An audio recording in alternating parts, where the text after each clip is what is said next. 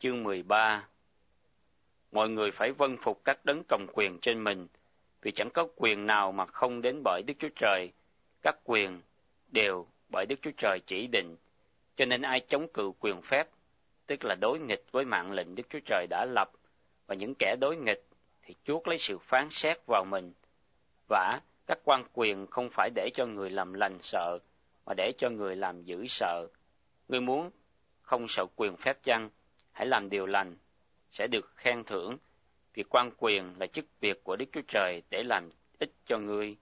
Song nếu ngươi làm ác thì hãy sợ, vì người cầm gươm chẳng phải là vô cớ.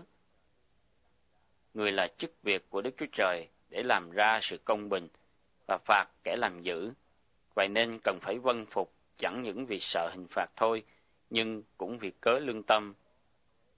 Ấy cũng bởi lẽ đó mà anh em nộp thế, vì các quan quyền là đầy tớ của Đức Chúa Trời, hằng giữ việc ấy, phải trả cho mọi người điều mình đã mắc, nộp thuế cho kẻ mình phải nộp thuế, đóng góp cho kẻ mình phải đóng góp, sợ kẻ mình đáng sợ, kính kẻ mình đáng kính, đừng mắc nợ ai chi hết, chỉ mắc nợ về sự yêu thương nhau mà thôi, vì ai yêu kẻ lân cận mình, ấy là đã làm trọn luật pháp.